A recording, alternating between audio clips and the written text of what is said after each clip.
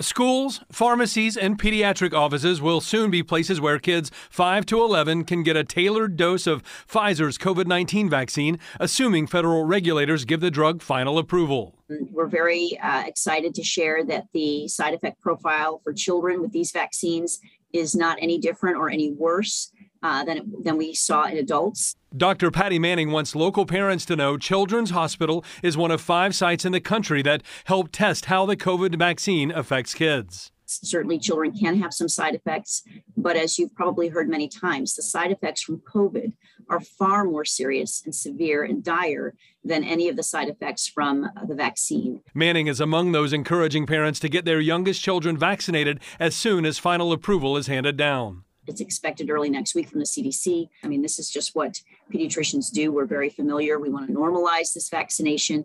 In an effort to normalize the next phase of vaccination, look for local school leaders to offer to host vaccine clinics. And when they request an in school clinic, we will use one of our four teams to go out and provide those vaccinations. Wherever the location, local health leaders say they'll be ready to help vaccine reluctant parents and kids learn more about the power of vaccination. I've had many of those conversations with my own patients to say, hey, let's talk about it. Let me tell you what my experience is as a pediatrician who has seen thousands of children um, who've been vaccinated who are safe and healthy and protected.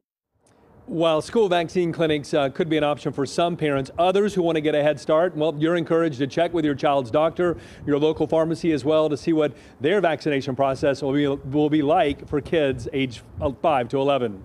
Reporting live tonight, Todd Dykes, WLWT News 5.